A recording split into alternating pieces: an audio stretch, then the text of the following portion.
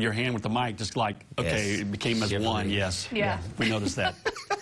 Good morning, everybody. Hey, uh, we're watching. Uh, we've been watching the Fulbright Expressway this morning. We've seen a, a couple times where the slowdowns has happened here on uh, the ramp around toward uh, the uh, Business 71. Right now, it's a little bit. It's moved a little bit. Well. I, what I would do is I would watch your speed, is what this tells me is uh, on uh, 49 Highway, because you know Interstate 49 that is, because they've been uh, they've been watching that pretty close. So that may be they may have somebody pulled over or maybe.